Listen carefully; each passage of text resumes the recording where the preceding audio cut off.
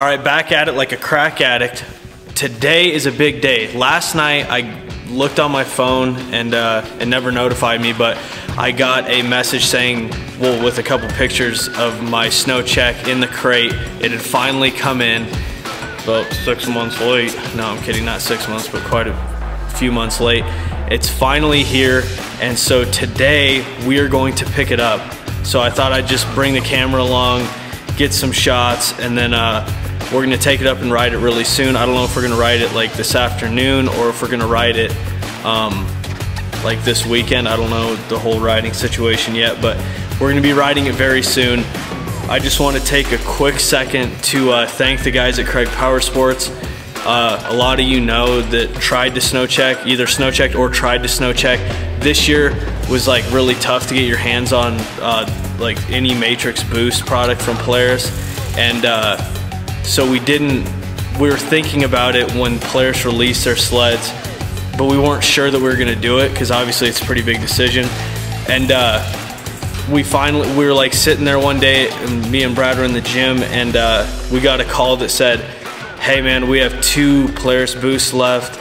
If you guys want the spots for snow check, we need like you guys to decide right now.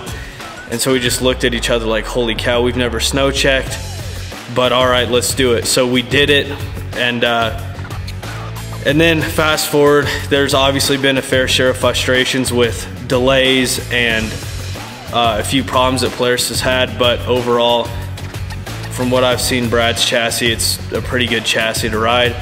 So today is super exciting because it was supposed to be in November. Now it's like months past when it was supposed to be in, but that's okay supply chain is completely messed up. So we are going to go to our local dealership and take you guys along and pick it up.